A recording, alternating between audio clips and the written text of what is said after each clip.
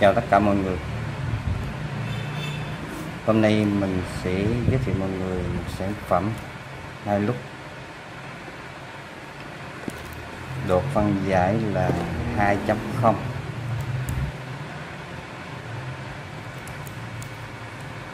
rồi, chúng ta hãy khui ra. Cùng trải nghiệm nhé.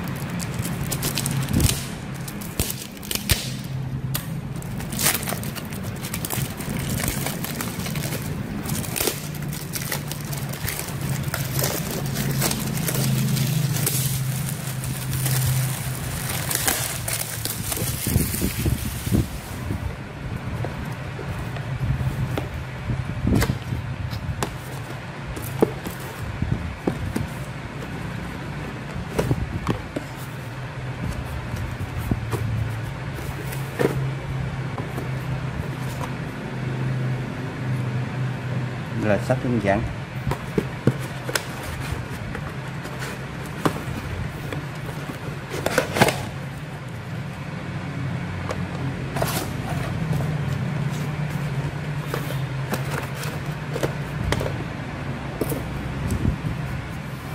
đây là camera hai lúc.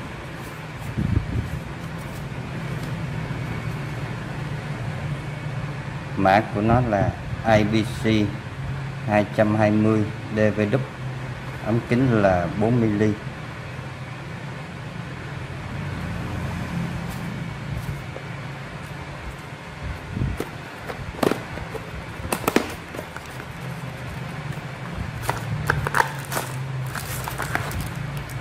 đây là adapter.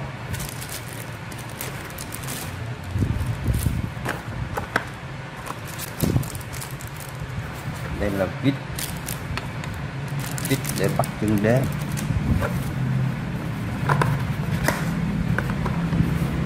Đây là chân đế của camera.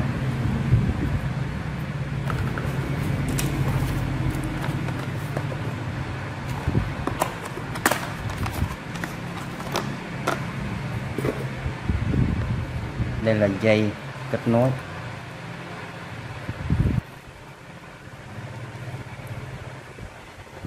Đây là thẻ nhớ 32G.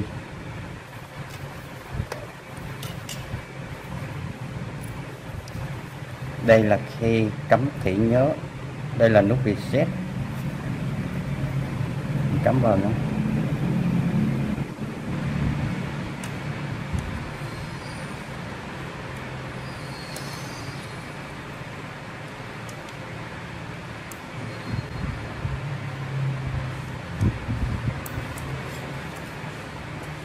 ok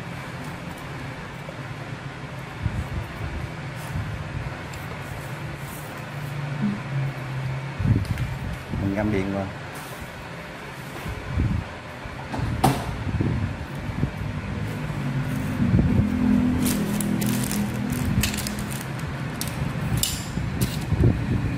Gắm điện vào. Nó sẽ báo là một đèn đỏ và từ camera nó khởi động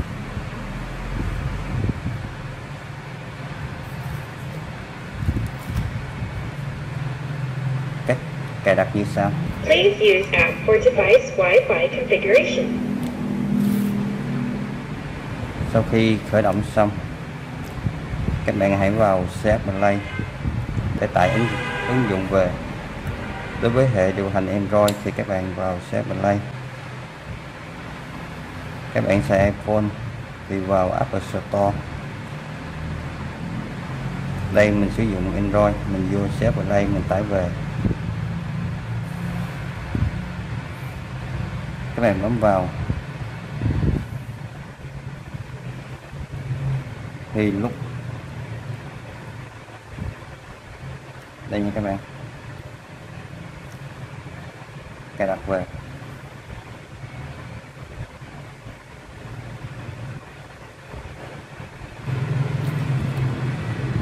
Sau khi tải về, mình mở lên.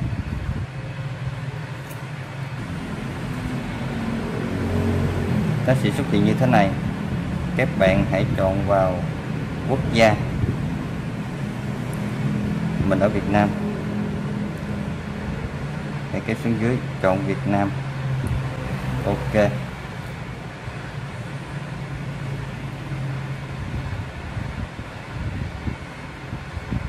Mình chưa có tài khoản thì mình phải đăng nhập tài khoản. Bấm vào đăng nhập sau đó, ở đây nó sẽ ghi là đăng ký tài khoản. Bấm vào đăng ký tài khoản. Đồng ý. Sau đó nhập số điện thoại của mình vào.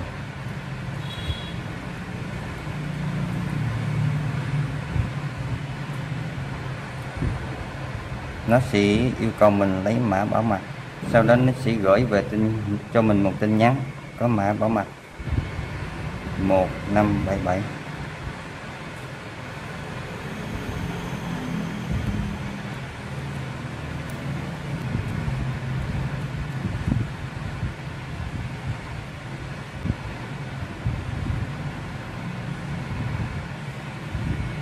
sau khi các bạn tải về, xong, đăng nhập xong, nó sẽ xuất hiện ra như thế này.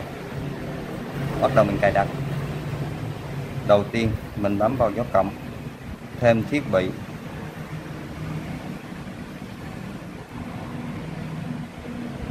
Quét mã mã thì nằm dưới đích của camera.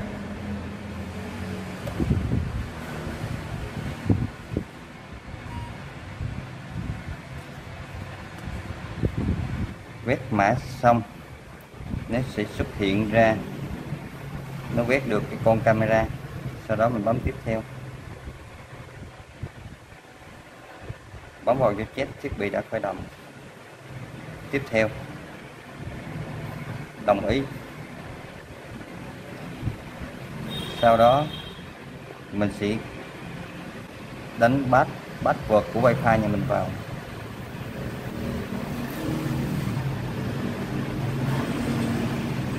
Đây là bắt wifi của mình nha. Nhà bạn thì bạn đánh bắt wifi của nhà bạn vào. Tiếp theo nó sẽ kết nối với mạng. Bấm vào kết nối với mạng. Chờ một xíu, nó đang xử lý.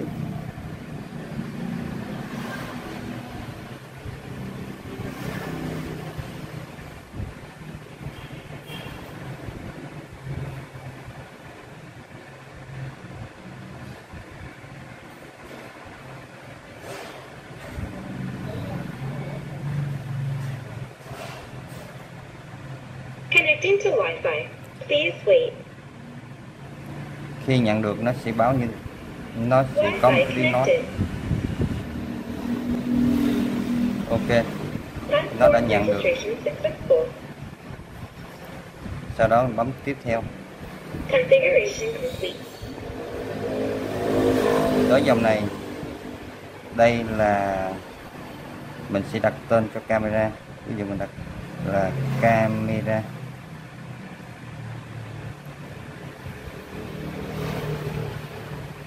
luôn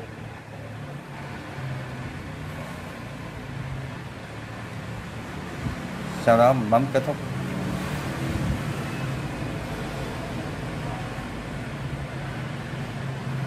Nó sẽ ra biểu tượng như thế này. Bấm vào. Đây là con, con camera.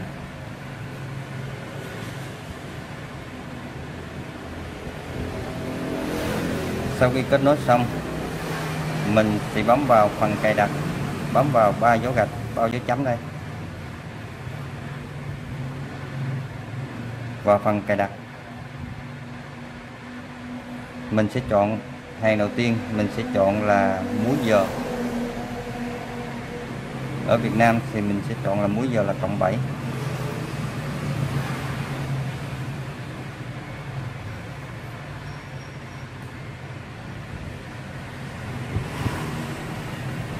đây Bangkok Hà Nội, Jakarta.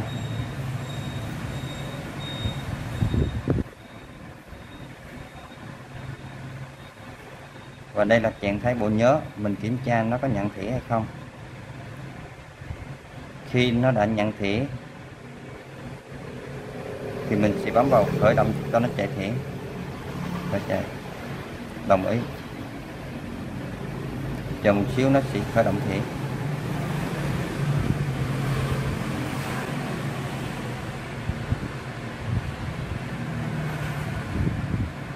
Ok. Khi thủy khởi động xong. Bấm quay lại.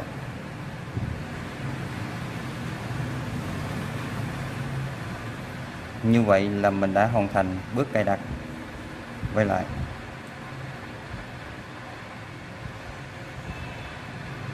Đây là hình ảnh đang ở chế độ SD mình muốn xem ở chế độ cao hơn thì mình bấm vào chữ SD mình chọn chế độ Ultra HD là độ Full HD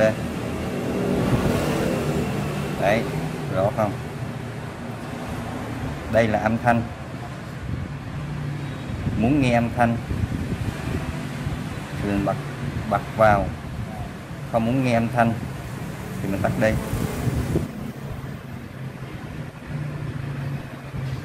đây là chụp ảnh. Khi mình thích chụp tại một thời điểm nào đó, mình bấm vào mình chụp. Nó sẽ lưu lại hình ảnh mình chụp. Đây là chế độ quay phim. Quay phim tại thời điểm hiện tại. Không muốn quay nữa, mình thoát ra đây là ứng dụng để điều khiển quay quét của camera. Quét ngang quét dọc.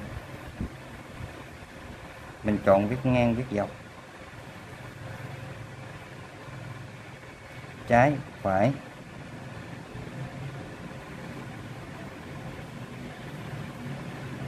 Lên. Và xuống. Mình không muốn xài nữa thì mình sẽ tắt nó đi. Đây là nút đàm thoại hai chiều. Đây là biểu tượng để lật hình của camera. Nếu các bạn mà gắn camera ngược lên, thì các bạn bấm vào là hình camera như thế này. Nếu các bạn để dựng camera bình thường như thế này, thì lật hình lại.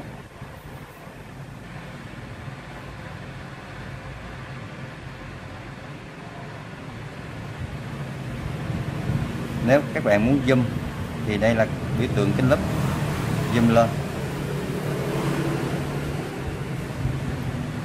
Rồi về phần mình muốn xem lại. Bấm vào biểu tượng bao dấu chấm.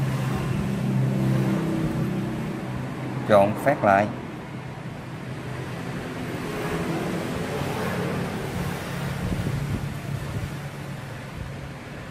Dòng đầu tiên là ngày tháng. Các bạn muốn chọn ngày nào thì các bạn bấm vào. Ở dưới đây là giờ các bạn muốn cho nó chi tiết thì các bạn kéo ra. Đấy, giờ nào nó luôn nó sẽ có màu vàng.